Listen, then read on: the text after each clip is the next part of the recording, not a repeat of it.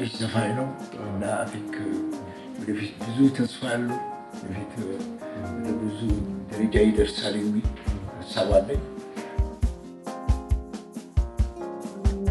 በእርግጠኝነት ልክ ከዚህ በፊት አበጋዝ ዝምታ አልበምን ሰርቶ ሌላ አይነት sound ሌላ አይነት የሙዚቃ ነገር እንዳሳየን ሁላ ይሄም እንዲሁ ለታሪክ የሚቀመጥና ታሪክ ላይ የራሱን አሻራ ኖሮ የሆነ ከፍታን የሚገልጽ አልበም ይሆናል የሚል እምነት አለ።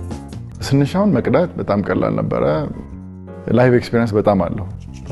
ደስ ብሎኝ ነው ይህን ፕሮጀክት የሰራሁት። ብዙ ጊዜ አልበም ስሰራ ሰራና በቃ ወይ ዘፈኖቹን ራሳቸዋለሁ። ግን ይሄኛው አልበም ላይ ሆነን ለመናገር አሉ ዘፈኖች ከጭንቅላት ያልወጣ ያሉ። አልበሙ ቆንጆ አልበም ነው። መድረክ ላይ መጫወታችን ማይቀር ነው ከወጣ በኋላ።